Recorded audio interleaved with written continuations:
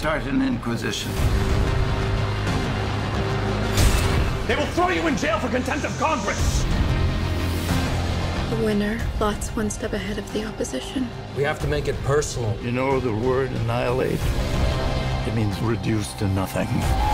This is more important than my career. It was mind-boggling, You crossed the line. genius. Bugging.